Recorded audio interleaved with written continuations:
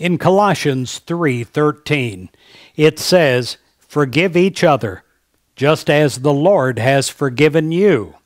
So you must also forgive." When you're having difficulty forgiving others, how do you feel? Well, you feel pretty bad.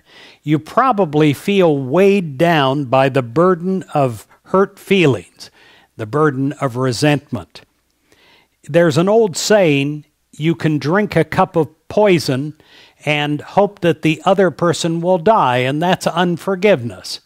Who's it really hurt? Hurts you. Now, put yourself in their place. Do these people feel the same way? Probably not.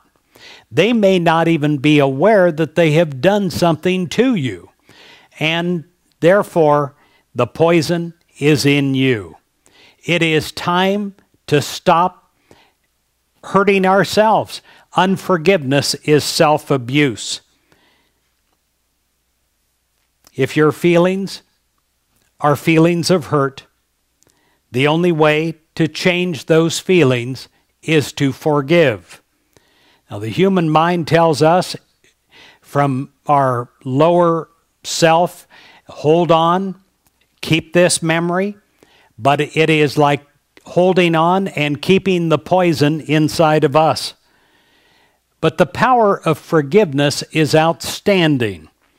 It is, in fact, healing, healing deep in our soul. When we forgive, we allow God to love through us, and nothing can withstand the healing power of God's love. Its benefits are absolutely amazing. As we forgive, we open our hearts to God's love and we bask in the divine light and the divine understanding. We're blessed because God's love has healed us. When you have forgiven and you walk past that hurt and that dismay, you're a new creature in Christ. And why not? Especially if you've been wronged. Why re wrong yourself every day by holding on to that? Let go and let God inside of you heal you at depth.